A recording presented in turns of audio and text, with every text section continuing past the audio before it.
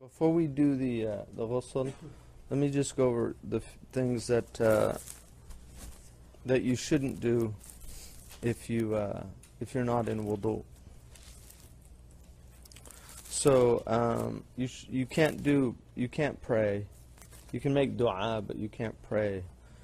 Uh, and if if if we'll do the section on uh, tayammum, but if you if you don't have tayammum or water, then the prayer is uh, it's not binding on you, according to the Malikis. So they, I mean, they give the example of somebody who's in jail who's like locked up on the wall with chains or something. They can't do wudu. Um, so you can't, you can't, and you can't do tawaf because tahara is a condition. It's a shart لصحة الطواف. It's uh, necessary but not sufficient uh, condition. The um, the sa'i, on the other hand, if you're making sa'i, you can do it without wudu. But the tawaf, you have to be in wudu, and and uh, that he covers that in the section on the. Also, what's that? Well, if you, yeah, for the same reasons that you had. You can, yeah, for the same reasons that you would do uh, wudu. And then also the uh, uh, you, you should not touch the uh, the mushaf, and that includes even a portion of it or uh, a verse, uh, and it includes also uh, the the uh, dafatay and mushaf, or if the muf- mushaf is in something, you shouldn't touch it without wudu. لا يمسه إلا المطهرون only people in a state of tahara should touch it. Um, if the mushaf has tafsir in it, it's permissible. So, like Yusuf Ali, English, English that has the Arabic, it's permissible to uh, to touch it. Um, it's also permissible if it's being transported. So, for instance, if it's in a trunk, even a non-Muslim could carry it. Uh, in that case. Um, you know, there's rules relating to the mushaf. You shouldn't carry it into uh, any, you know, like a, a toilet or something, unless it's covered. So if if you had like a jacket that has a zipper, then you, you could take the mushaf into a bathroom, or it was in a uh, like a briefcase or a purse, if the purse had a zipper or something covered. But it can't be open to the air uh, in the same place that. Uh, mm-hmm. Yeah, you should do wudu. You shouldn't touch it. The the mushaf is uh, uh, it has a hurma. You know, sanctity is very high. Um, and also, it is prohibited for somebody uh, who's uh, you know in a state of hadath al asghar, the lesser or the greater. To they should not write the Quran or even a verse of it. Um, so, um, and then that includes also uh, if you know, like I said, if the if the mushaf was with some things that were being moved, then it's permissible to move it. So if it was with, you know, if you're moving some things and it's one of those things, then it's permissible to move. But if it's the mushaf on its own, uh, it's not.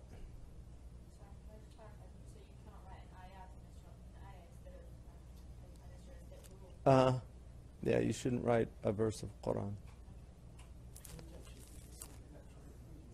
Yeah, you know the the electronic media is a problem. I mean, I I asked Sheikh Abdullah bin Bayyah about that. Uh,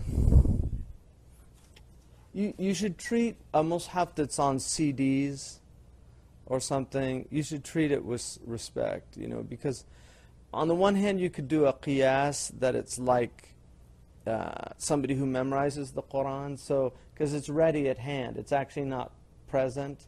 So on the CDs, it's digitally there, but it's actually not, you know, there's, there's no physical evidence of it being there other than that once it starts playing. But, I mean, those are codes. And you know, words are codes as well. It's it's just uh, those codes aren't, you know, they're not the mushaf technically of what we have. I mean, it's a problem. You know, it's definitely so. It's it's usually better to err on the side of caution, and just treat it. I mean, I had teachers that that uh, treated the CDs like a mushaf. Yeah, no, exactly. Now we've got MP3. I mean, I've got the whole Quran on my iPhone, you know.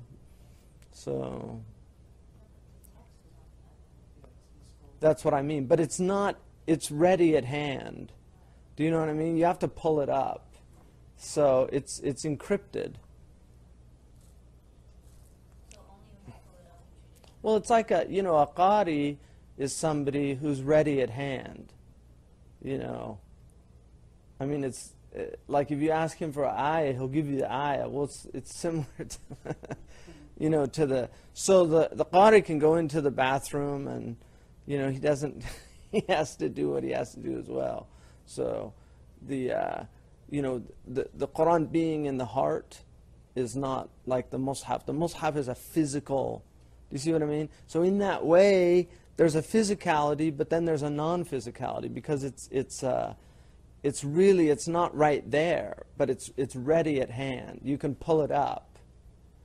Uh, so in that way, it's similar to like memorization. I mean, it's definitely a new thing. I don't, I don't, you know, I, I Sheikh Abdullah, he wasn't, uh, you know, he just said it's better to, to respect it than not to, you know, than to consider it normal. Well, that's what I said, and he liked that analogy because I, you know, I use that as an analogy that, and he, he, he, he you know, he, he thought that was an interesting way to look at it. But uh, it's definitely encrypted in there. You know, I mean, it's encrypted, so there is a physical reality to it on those things. But one could argue that it's encrypted in the Hafiz as well, because that memory is, you know, there's there's uh, there's actually there is memory. Like when when you memorize something, you're actually creating neural pathways, and uh, the neural pathways are there. You know, so I mean, you can forget things, but the actual neural pathways are they're just it's like a file that's it's deep down in your filing cabinet. You know, it's not that it's not there. It's just you don't have the access that you used to have, or it's lost in those files. It's somewhere, I just don't know where it is. So, mm-hmm.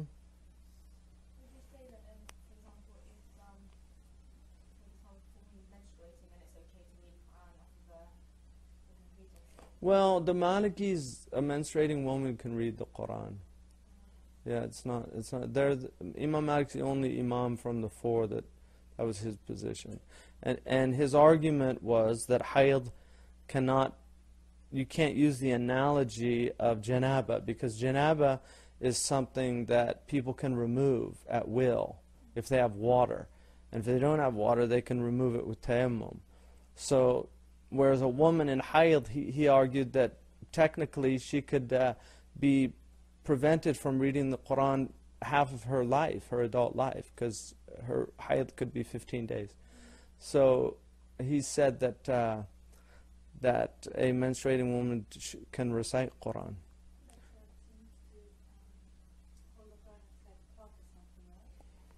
Well, I mean the the dafa is it's better to do it on a kursi, and uh, it's better to use to get you know khuruj an al khilaf mustahab to get out of differences of opinion is a is an encouraged thing.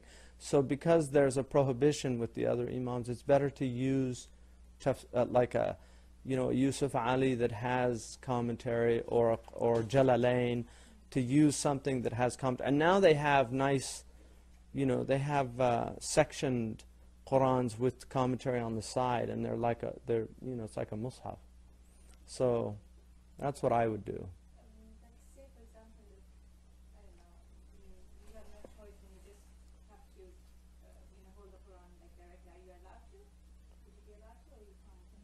If if you're if you're yeah if you're maintaining your uh, Quran, then it's permitted for you to read from the Mus'haf. when you're in yeah menstrual cycle. Yeah. Just want to clarify, let's say like a young child is trying to memorize like Juz and it has just the Juz pamphlet. Yeah, they can recite without wudu like children when they're learning the Quran, and they can hold it as well. Not the mushaf, just like that one like the loah or a portion exactly. Yeah, they're permitted to do that.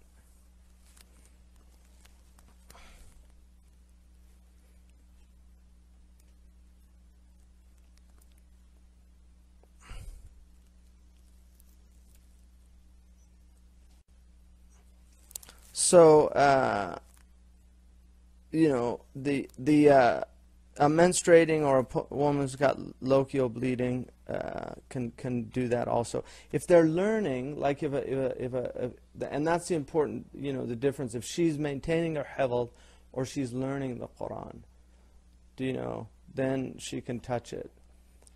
Okay. Uh, and then also, uh, you know, as if it has tafsir, then there's no prohibition because it's not considered a mushaf, it's considered a tafsir. Uh,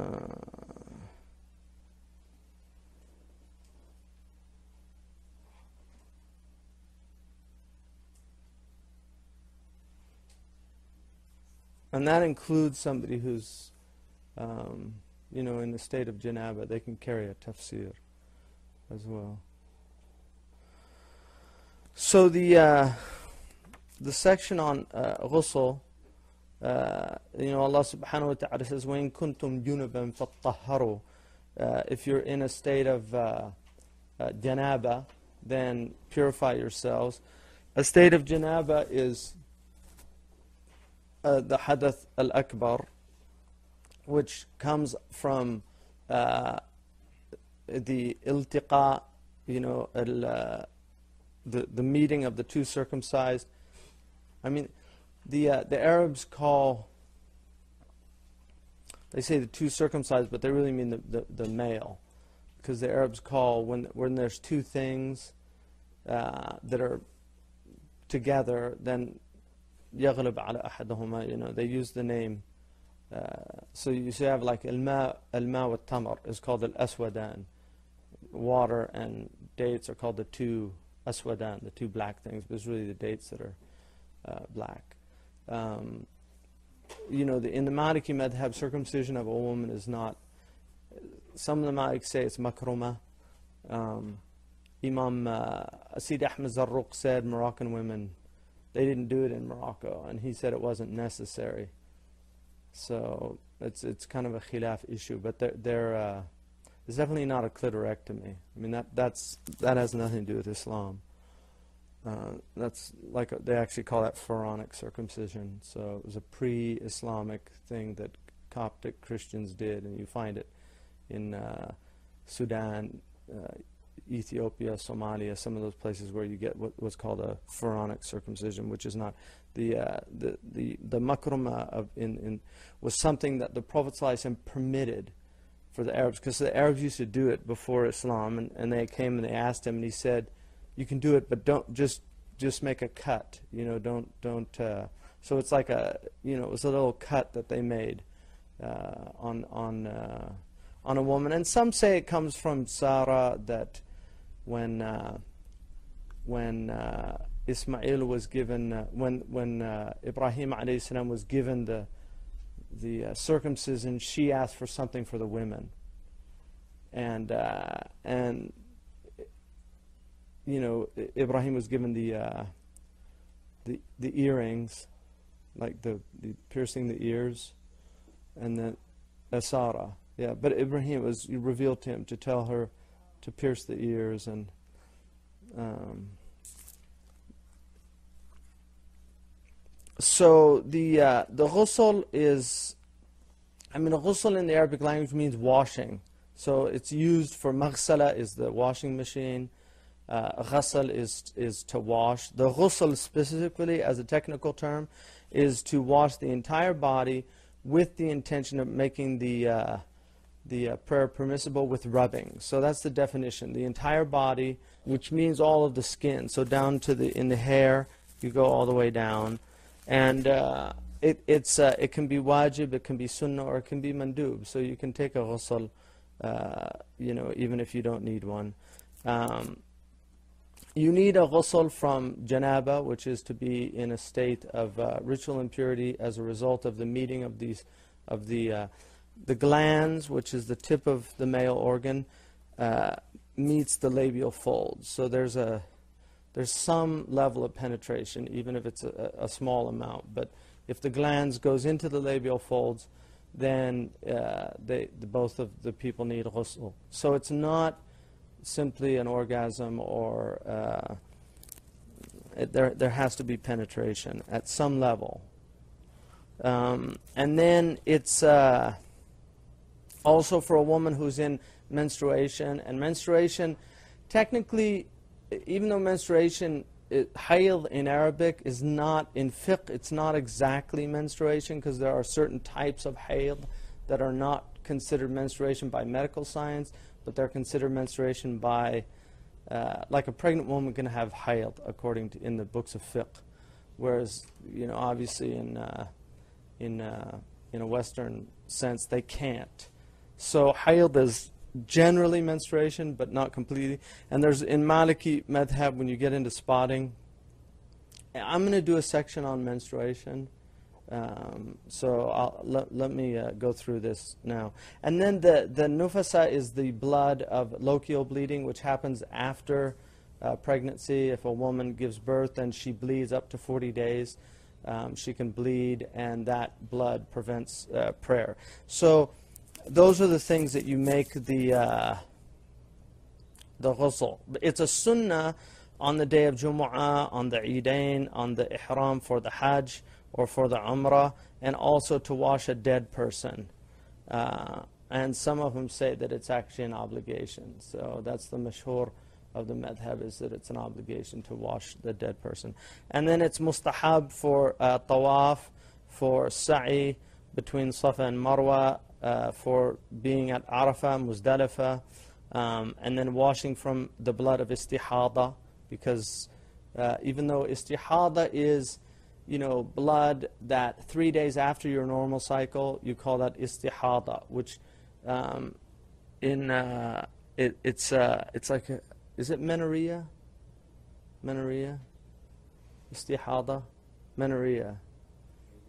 I mean, what menorrhea is the blood that just flows, right? Yeah, it's menorrhea. So if you have uh, menorrhea, which is women who bleed excessively even after they've had their menstrual bleeding. They, and it's usually from a, there's, there's, there's a, uh, you know, there's, there's veins in the, um, in the actual uh, womb that bleed because it can be treated through cauterization. They go up and they treat it. So there are women that have this, uh, uh, this pro medical problem. But now you can treat it. But, you know, obviously in these days you, you, you couldn't treat them. So women that bleed, uh, if it's if your normal cycle is five days, then when you get to eight days, it becomes istihada. So that means that the uh, the blood uh, that flows after that is not considered menstrual blood. So you, you resume praying, you do ghusl and resume praying. You can have sexual intercourse. Uh, it's normal. So it's a it's it's uh, it's encouraged then when the istihada stops to do ghusl. You don't have to, you know, because it's a it's not technically hayd, uh, menstruation. And then also uh, to go into Mecca and Medina, uh, all of those things. Some of the ulama, uh, if you're visiting one of the righteous people, you know, would do, would do ghusl, just to visit one of the awliya or the salihin, uh, to go into their um, gathering. Um, and then the, uh, the obligations of ghusl, are you have to have an intention at the outset. So again, it's niyyah. And part of the, you know, in the, in, in the deen, so much of our religion is based إِنَّمَا الْعَمَلُ بِالنِّيَّاتِ So it's really becoming uh, uh, present to intentionality. If you look, most people in the world don't really do things with intention. Like, if you ask people, why are you doing this? you know, they, they have loose understandings of why they do things. I mean, people, you know, do things for reasons. But the intention in, in the deen is so strong. It's such a strong element.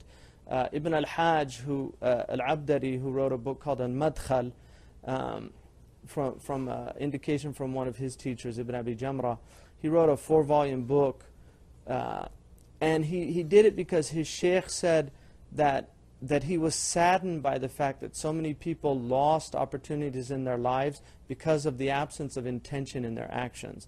And he said he wished somebody would uh, write a book about rectifying the intentions. And then he looked at uh, Ibn al-Hajj. And uh, Ibn al-Hajj said he realized he was kind of telling him he should write the book. So he wrote that book. And it's an amazing book because it's, uh, it's basically he, every profession he deals with and shows how their profession can be a means to actually gaining reward with Allah. Doesn't matter what they're doing. You know, there's there's a uh, you know Adam Smith argued that um, you know that the butcher is really selfish. That's why he's uh, that's why he's he's become a butcher to make money. But he said his selfishness benefits the rest of us because he's making money off a social service. So even though he's doing it for selfish reasons, it benefits everybody. Ibn al-Hajj is the exact opposite. He's saying the butcher has an opportunity to be doing his work as an act of worship for God by making his intention to provide halal meat for the Muslims so that they can get energy so that they can worship Allah subhanahu wa ta'ala. So he actually shows how just your job that is an ordinary job can actually become an opportunity to serve Allah subhanahu wa ta'ala. And, uh, and that's why intention is so central to, to, uh, to our religion. And so in the ghusl, the intention is, you know, Ibn Arabi said about, about the sexual act, he said that it was it was, on the one hand, he said it was actually um, a, a, a, spiritual, I mean, he saw it as a very spiritual thing because he said it was, it was that desire to, for unity, like the desire for the opposites to come together, the Jamal and the Jalal, which are the, the two ways in which Allah reveals himself to the creation. So he saw it as this desire for these two, uh, these two theophanies of God in the world to come together and to unite. But he also saw it as this ultimate state of forgetfulness, so that, um, that people go into such uh, forgetfulness that the ghusl is a way of bringing them back. That, because Allah is ghayur. So there was so much uh, pleasure found in, in other than God, you know, in, in the mate, that it was the ghusl was a way of restoring that presence. That, that's way, I mean, that's the ishara, you know, that's the way he looked at it. So doing the ghusl, it's a sunnah to do it after uh, the intercourse. If you do not do it, you should at least uh, clean from the, uh, you know, the najasa and then do uh, uh, wudu. You can do wudu. It's not a wudu, la yarfa'ul hadath. It doesn't remove the hadath, but it's a wudu that the, the angels of mercy uh, remove themselves from people that are in a state of janaba.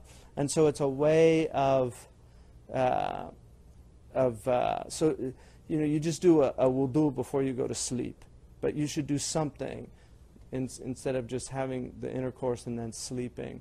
It's better to, uh, you know, to have some type of washing.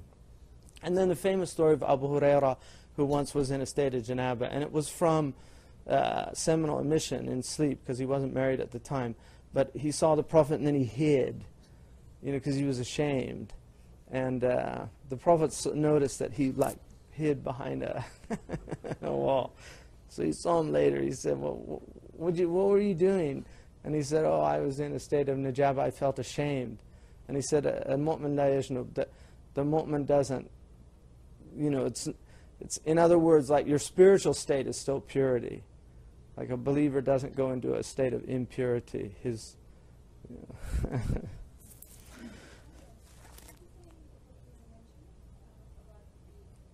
It's called Al Madkhal of Ibn al Hajj. It's an amazing book.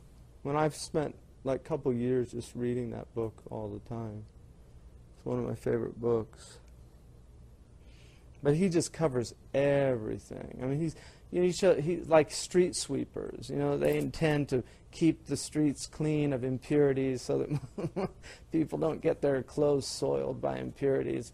The bookbinder intends to preserve knowledge and I mean, he just shows how everything can be made an act of uh, devotion to God. And historically, that's the way, like if you go into Fez in, the, in those old, uh, Titus Burckhardt in his book on Fez, the sacred city, when he was there, because he was there in 1932, you know, he mentions how people really had that understanding, because he would talk to craftspeople he, he once was, was uh, talking to a man who was making a comb, one of the horn combs from horn, you know, from the animal horn. And he was making the comb, and he, he asked him about it, and he said, what, he asked him what he thought of the, the new combs that they make. He said he didn't like them. And he said, why? And he said, this, this was taught to us by Idris, the prophet Idris. He was the first one to make a comb and give it to the people. And he said, and, and I learned this. I learned how to make this from my teacher, who learned it from his teacher, who learned it all the way back. And he said, to take that out, you know, to take that from, because that's tradition. I mean, tradition extends even to crafts.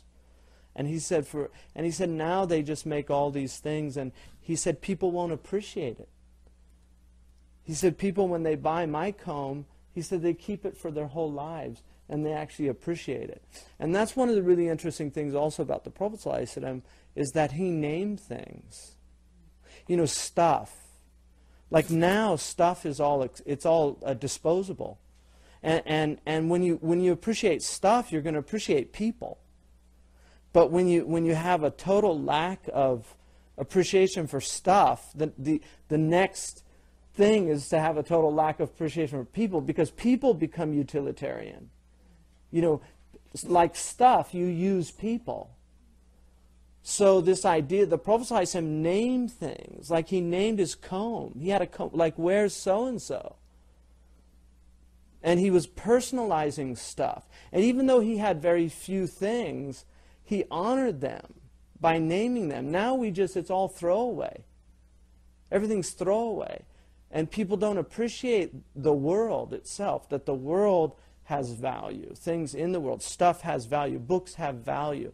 You know, uh, uh, uh, somebody asked uh, uh, Sidi Abdullah ibn Hajj Ibrahim, one of the great scholars of West Africa, he said, um, you know, how did he get such a big opening? He said, he said, well, one thing, I have never put knowledge on my calf. you know, just like he never put a book at that level. You know, just the adab towards knowledge, the adab towards books. I mean, now things are, it's all thrown away. You know, people use things and. Mm-hmm. You know, the, if in Syria, putting a book on the ground, you get whipped almost by the teacher. I mean, I, I always marvel, like, when I was at the university, I would see kids sitting on their books. Do you know? I mean, if you did that in a madrasa, they would just really, I don't know what they would do. you, know? you know, the idea of sitting on, on knowledge like that. But, uh, you know, in West Africa, they're looser about that just because they're floor people. So I think it depends on, like, I'm, I'm a floor person. I don't really have furniture in the house.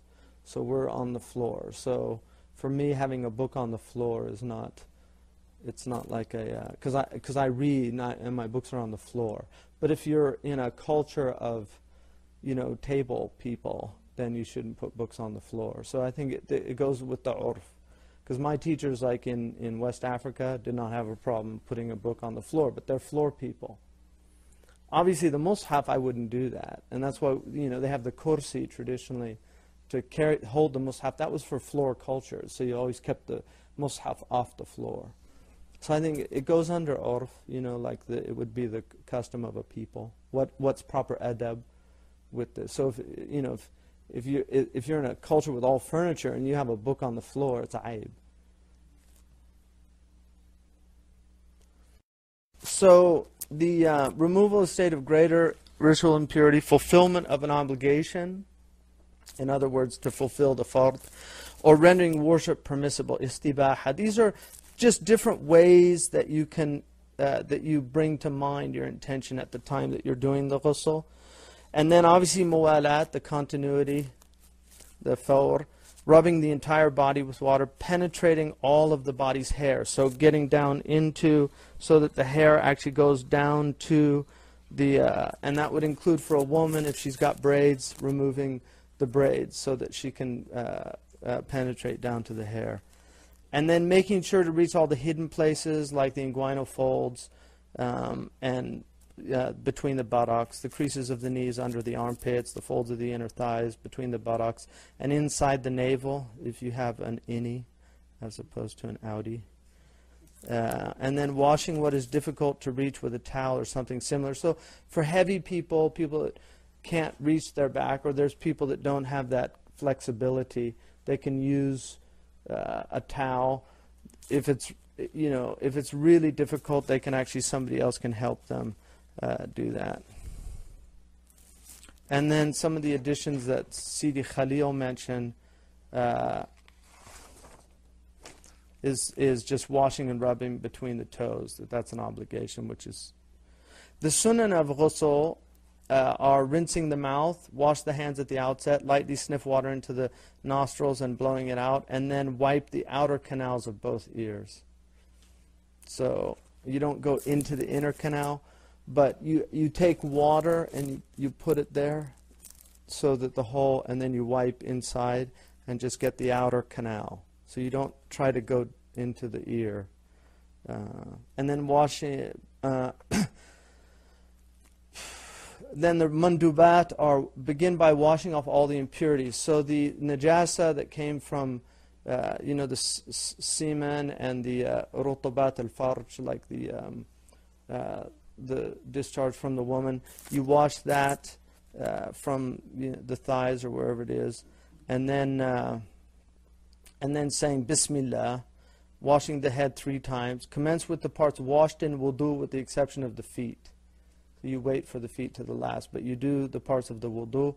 Conserve water. The Prophet used a, a sa'a, which is four amdad. So the mud is half a liter. All right, so the Prophet could do ghusl then with two liters of water, which is not a lot of water. So again, water conservation is good. I mean, you know, pe people take showers in our culture for uh, to take, you know, just the enjoyment of taking a shower. So, um, but a lot of water is wasted. Uh, begin from the top down. Wash the right side first. Uh, begin by cleaning the genitals, and avoid touching the genitals thereafter with the inside or the sides of the palms and the fingers. If one happens to touch the genitals, or if anything occurs that nullifies wudu later on in the ghusl, then repeat what had already been completed of wudu or repeat the entire wudu if one touches the genitals after completing the wudu and then return to the ghusl. So if you break the wudu during the ghusl, then you, you do the wudu or do just what part of the wudu that you, you had done before. And then Khalil says, and begin washing the head from the forehead, which is the same as in wudu as well. So ghusl is, is required after. So, I mean, the Prophet ﷺ took a ghusl with a pitcher of water in, in a uh, tub. And he also took ghusl with Aisha radiallahu anha. So uh, you can take a ghusl with your spouse. Um, Aisha said, the Prophet never saw my genitals, I never saw his genitals. And that, that's adab, that's not um, for normal, uh, you know, it's, that's permissible to look at the genitals of your spouse. But the Prophet out of the adab, the intense adab, and uh, haya. Um, Aisha said that about him, wasallam. But they did take ghusl together, so it is permissible to do that. Um, and they did not have showers, so this was a, a, a washing. Um, and which you know, I, I mean, where I lived mo- in most places when I was in the Muslim world, th- there weren't showers. So, um, but it's similar. And then you wash. You know, you begin by washing your private parts, cleaning that area. Do the the uh, the wudu, except for the feet. Wash the head. Get in, make sure that the water penetrates down, and then the ears. You know, the neck all around, and then like the backs So getting your back so that you make sure you rub because delk you have to have delk on all parts of your body and then go down the right side and then the left side and uh, and then that's the ghusl and then doing the same you you know once you leave if you're in a bathroom then uh, you can do the tashahhud the shahada when you get outside of the bathroom. If you're in an area where the the shower is separate from the bathroom um, then you you can say do the dhikr um, in that. So ghusl is required after menstruation, postpartum bleeding, orgasm in which fluid is ejaculated. So that includes a wet dream. Um, it includes masturbation, anything that you you have seminal emission, and then the penetration of the glans penis in any private part. So that includes uh, you know, rectal, which is absolutely prohibited. Uh, male, female, male, male, uh, animal as well, any bestiality, anything. But, you know, people do these things. That's why they mention them in the books uh, of fiqh. And then also entering Islam in the state of one of the previous four. So when you become Muslim, you take a ghusl, one of the first things that you do, and then learn about uh, najasa, um, tahara, so, which is important. And then the physical state requiring ghusl, janaba, prohibits the following. If it is caused because of menstruation or postpartum bleeding, then intercourse is unlawful until ghusl is performed. The, the Prophet said, used to go to uh, his wife when she was in menstruation, and she would wrap an izar, and he would not go under the izar, but he would uh, dally with her. So it's permissible to have, uh, uh you know, foreplay and intimacy, but it is prohibited to have intercourse during that time. What's called mufakhada is also permissible, which is, um, you know, like a, um, the, you know, the thighs of a woman, something like that. Th those things are permissible, but actual genital penetration is prohibited during the time that she is uh, in her menstrual cycle. Um, and then it. Uh, if it is from the last two points, 3 and 4, in the previous section, then the recitation of the Quran is unlawful with the exception of a few ayah recited for protection like isti'ada. So if it's uh, uh, from the postpartum bleeding, uh, uh, if, if, if it's from orgasm or penetration of the glans, then you cannot do any uh, recitation of Quran unless it was like to do isti'ada uh, or something, seeking refuge in Allah, Ayatul Kursi or the three quls. Um, all four prohibit one from entering a masjid. So if you're in a state of janaba, you cannot go into a masjid. Um, additions from uh, Khalil, the prayer, touching the mushaf of the Quran, circumambulating the Kaaba, making tawaf. If, someone is forgo- if something is forgotten during the ghusl, then treat it as if you would your wudu, except what you need not repeat what was already performed. So you just go back to that limb or whatever you forgot. And then uh, Sidi Khalil mentions on the clarification on the different types of doubt. If there's doubt in regard to a discharge, whether it is mani or medi, so if you don't know, if you, if, if you wake up and you have discharge and you don't know if it's mani or medi, you assume it's mani. So you do a ghusl for that. Also, you don't have to do a ghusl for discharge for ejaculation that comes from some kind of uh, it doesn't relate to um, to the normal means. So, the, I mean, they mention in the books of fiqh like riding a horse or riding a camel or something like that. Sometimes uh, that that will cause an ejaculation. That that that just means they have to wipe, clean themselves, but it's not doesn't necessitate ghusl. If it's urine or medi, then consider it medi. If it's mani medi or urine, consider it medi. Um, so order of ghusl. When performing ghusl, one should follow this order. Start by saying Bismillah, If you're in a pure place, so if you're in the bathroom, uh, then you should not mention uh, the name of Allah. If you have a shower that is separate, like, you know, it, there's a door, not a curtain, but a door that closes, and so the shower is actually in a separate place, then you can uh, mention uh, dhikr of Allah. hmm What if you have like an extra bathroom that you like you never use to go to the bathroom? Oh, you don't use the toilet?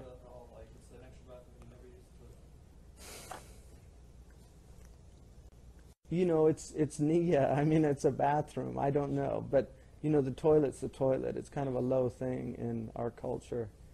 So, I mean, obviously, the point is the najasa that's in the place. So, you know, if you feel comfortable with it, you know, it's like it's like tur- turkey bacon. you know, if you feel comfortable with it.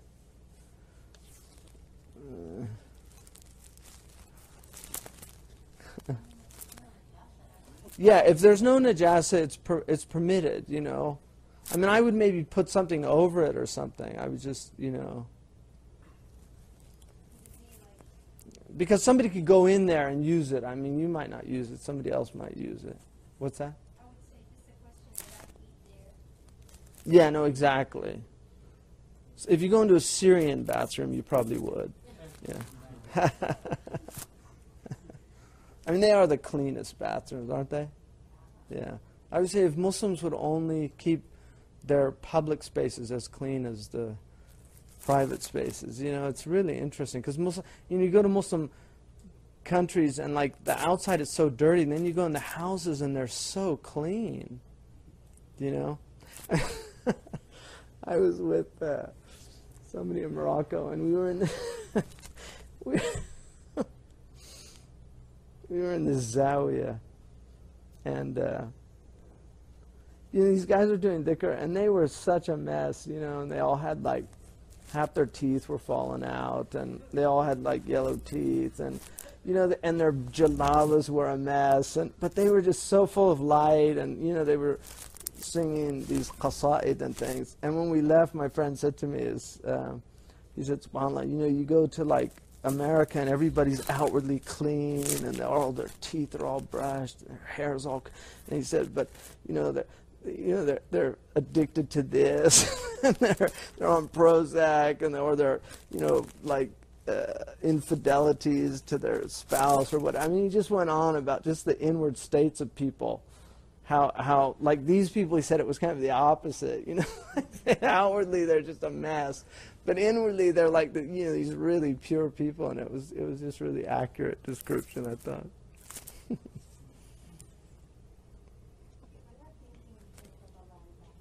What's that? No no you i mean yeah that's a natural you're not the heart is it's like having the quran in your heart you know you, you don't you don't guard that and you can make that niya. you know. It's just saying the name because it's a it's you know you're bringing it out. Yeah.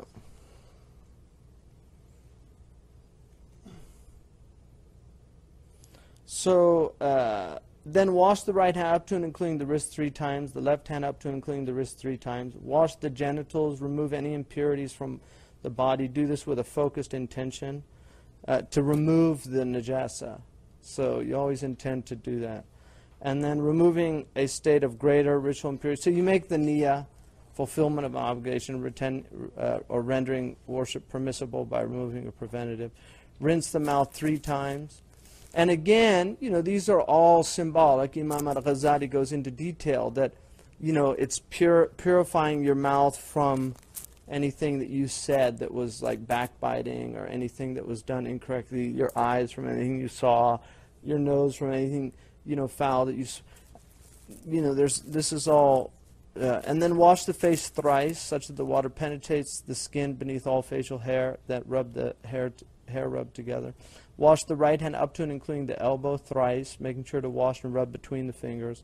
Wash the left hand like the right. Wet the fingertips and massage the scalp from the bottom up before washing the head. Wash the head thrice, Start by pouring water onto the head. So if you have a shower, obviously it's coming down anyway. And work the water into the scalp using fingers, ensuring all the water is wetted and rubbed together. Wash the right ear once. Place water into the right hand. Lean your head like that. So you put the water in the right hand, lean your head so that the water covers the ear, right? The inside of the ear, and then you go. Uh, and behind the ear, the ear pinnae, this is the pinnae, and behind the ear. Wash the neck once, wash under the chin, wash the right arm from the shoulder to the elbow once, including the armpit. Wash the front and the back of the right side of the body up to the knee once. Reach all the hidden places of the body between the folds of the right inner thigh, between the buttocks. Uh, wash the left arm from the shoulder to the elbow. So now you do the same thing on the left side and then uh, wash the right, and then finally washing the feet. So you wash the right foot up to and including the ankle, wash between the toes, starting from the little toe moving to the left, and then the washing the left foot up to and including the ankle, same way that you did the right foot. So that's pretty much ghusl. I mean, it's straightforward. I wouldn't obsess about it. You know, it's not. Um,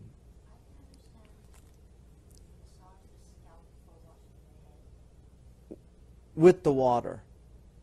So you, you get you, you know you get the water and then go in, and then you just wash over it. Yeah, just making sure that the water penetrates. Yeah, so that you, you get the water in the scalp. Yeah, and then you wash the, the water. Like you do like you would do, you know, you wash the water and just do that. But before that you, you actually get in to penetrate down.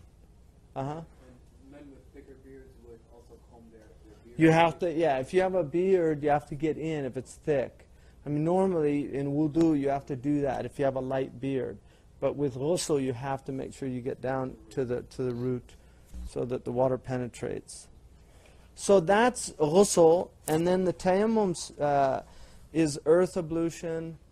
The, uh, the Prophet said, جُعِلَ جُعِلَ لِي الْمَسْجِدُ uh, جُعِلَ- جُعِلَتِ الْأَرْضُ لِي مَسْجِدًا وَطَهُورًا The earth was made as a place of worship for me and a source of purification.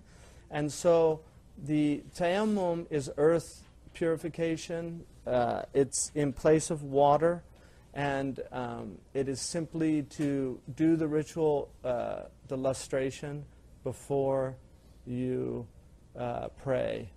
Um, so tayammum can be done with anything which is sa'id al-ard, on that, that's on the earth. Um, and it's it's very it's it's not a hard thing to do. It's very simple.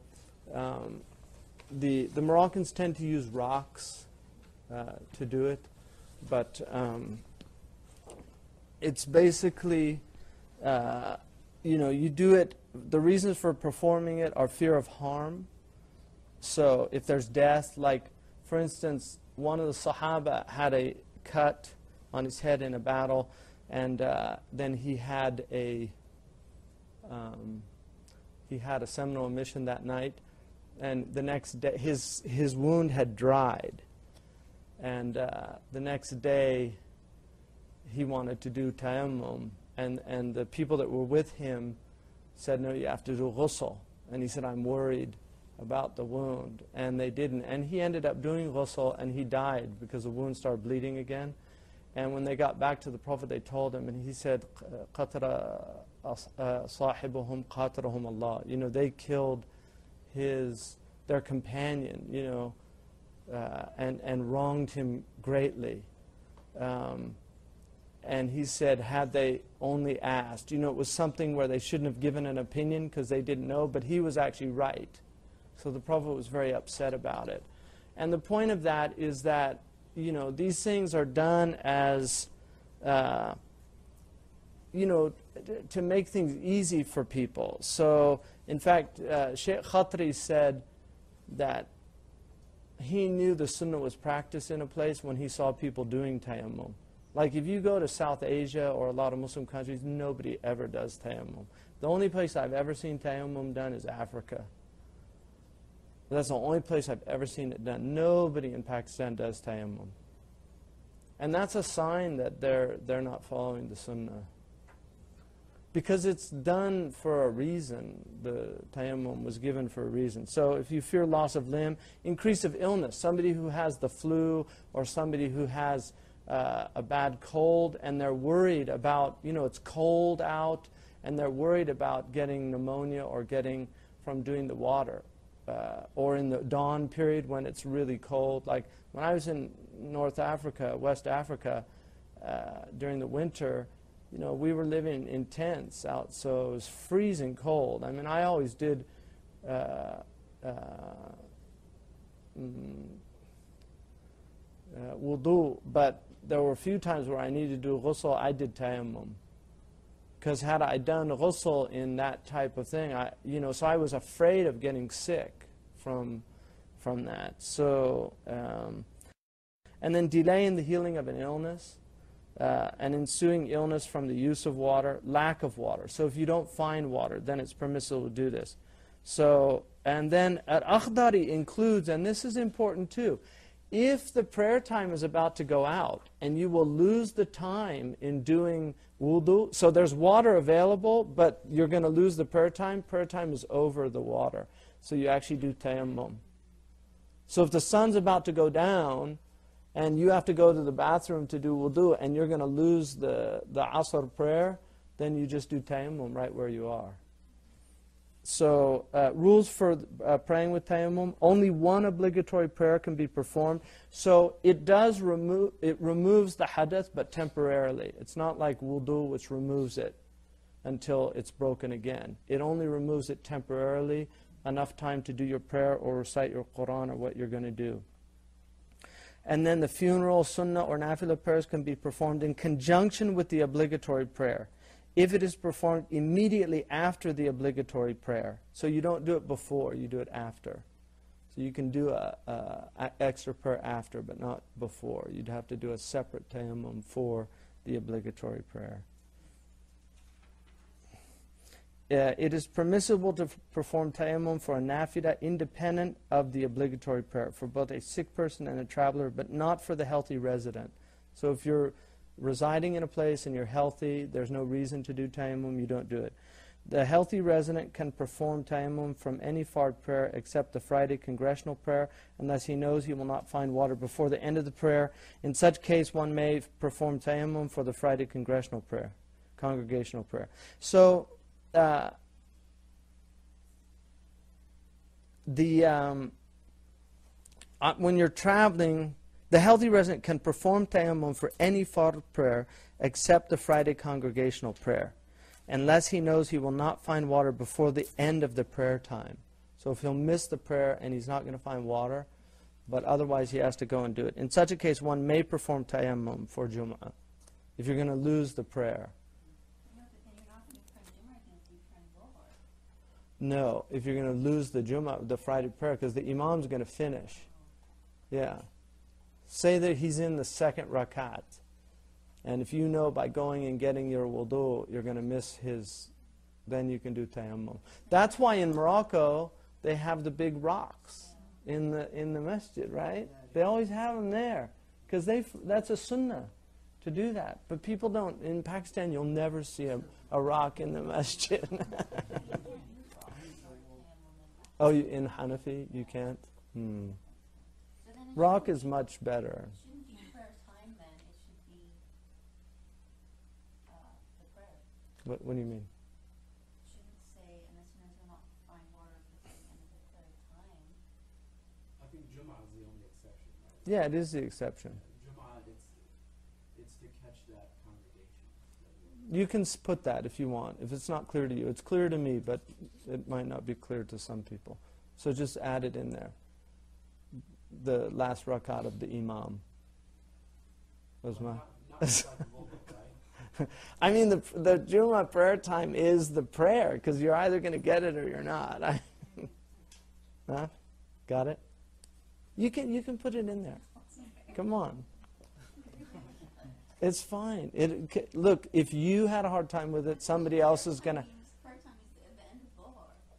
I know, but not for Juma. The end of the prayer time is when the imam finishes the prayer. Yeah, but if it's not clear, you can put it there because if you, if you with the genius Husseini brain. There's other people that are going to think the same thing. So go ahead.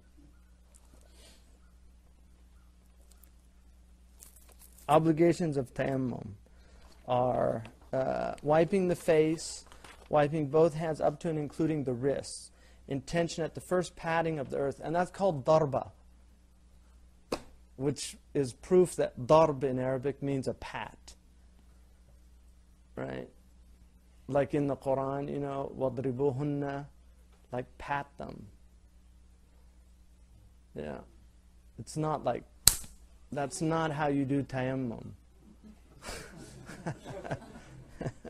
it's just a, you know, it's like a, it's just a, you know, come on, snap out of it, girl. Uh, so wiping the face, wiping both hands up to and including the wrist, intention at the first patting of the earth, and is one of the following. An obligatory tayammum, so it's a fard, or rendering worship permissible, istibaha. If one is in, need of ghusl, then one must intend rendering worship permissible from the janaba. So if, if it's from a ghusl you're doing tayammum, you have to have that knee in your heart of removing the janaba. If one is in need of wudu, then rendering worship permissible will, will suffice. So the first patting of the earth is an obligatory one. The second one's the just a the the uh, sunnah. Continuity of action using pure earth, which includes soil, sand, adobe, stone. So like an adobe house that's not glossed over is permissible. You know, if it's not uh, fired adobe, it has to be the raw earth adobe. Hmm? If it's painted, you can't. Yeah. And then salt marsh, you know, if you salt marsh, it's like out where there's salt. The, you know, in a marsh area, they have the salt, the white. You know, that white that's permitted, but not wood, baked plaster, grass, straw, precious stones, gold or silver. So you can't do it on grass because it has to ha- reach the earth or be from it. So, uh, and then following the tayammum immediately with the prayer. So you shouldn't have a delay between the tayammum and the prayer. And the prayer time having entered, it cannot be performed for a given prayer until the time of that prayer has entered. So it has to be in the prayer time. You don't do it before the whole, the tayammum and then wait till the time comes in. And then uh, Khalil adds, removing any barriers between earth and skin, such as ring, bracelets, and watches. So you, if you have a ring, you take it off.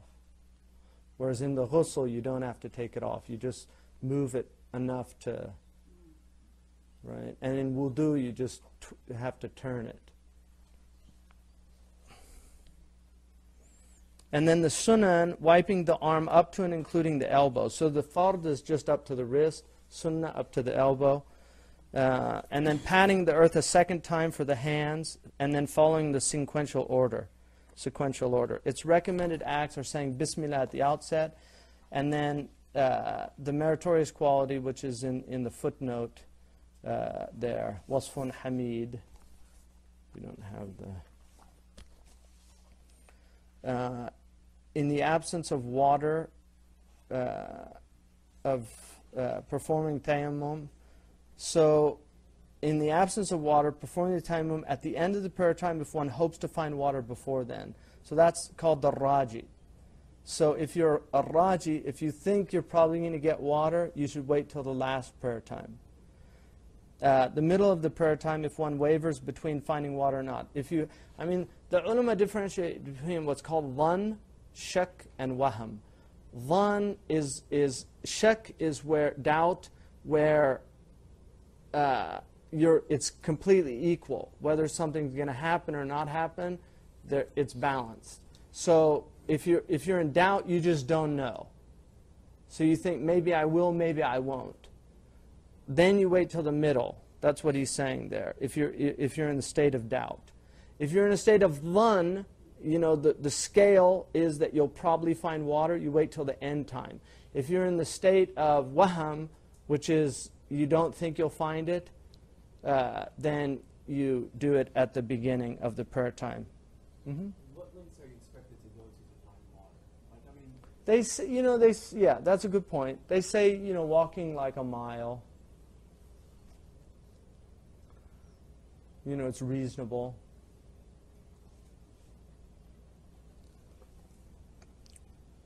Then uh, facing qibla uh, and brushing one's teeth. So the siwak also. I mean, that's Khalil adds that. So you face qibla, and then also additions from Khalil. The following are discouraged acts of tayammum. Excessiveness, like hitting the earth hard, you know, or like rubbing the soil in there. This, it's, it's meant, it's a ritual. There's, you know, you have to really see it as a ritual. It's in, in place of wudu to create a kind of, uh, you know, a, a just a psychological state that prepares you for getting into the prayer. So there shouldn't be any ghulu. And then repetition, you shouldn't do it like three times like you do wudu. Well, wudu three times must be good, so let's do it three times. And then speaking during tayammum other than resemblance. And then it's nullified by that which nullifies wudu, the availability of purifying water before one prays, and there's enough time to perform the water ritual or catch the prayer on time.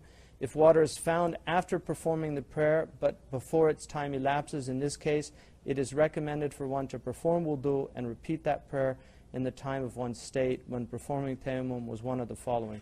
Fearful of a bandit, so if you're afraid of being robbed or something like that, hopeful of finding water, but nevertheless proceeds to pray during the beginning of the time, even though one is expected to wait until the end of the time, or a chronically ill person who lacked an assistant to fetch water. So if water is found after performing the prayer, but for, before the time elapses, it is recommended for one to perform wudu and repeat the prayer in, in the time if one's state when performing tayammum was one of the following. So tho- those are the reasons that it would be, uh, you should repeat the prayer. And then, if a significant time elapses after the performance of tayammum with no devotional action that requires ritual purification having been performed, a significant amount of time is the length of time it takes for the limbs of wudu to dry if they were wet in the moderate weather. The order, its order is saying Bismillah from an intention in the heart while patting the pure earth using one of the following obligatory tayammum, rendering worship permissible, and then rendering worship from greater ritual impurity, janaba if it was. Patting the pure earth with the hands, wiping the face once, starting with the hairline down to the bottom of the chin. Uh, patting the pure earth a second time, wiping the arm. So I'll do. I'll just show you. If this was earth, you face the qibla, and then uh, you just make a tap, and then you. So you take off the ring. You you make a tap, and then you you you do that to get the dust off. All right. So you, tap like that, and then you start up here, and then come like that.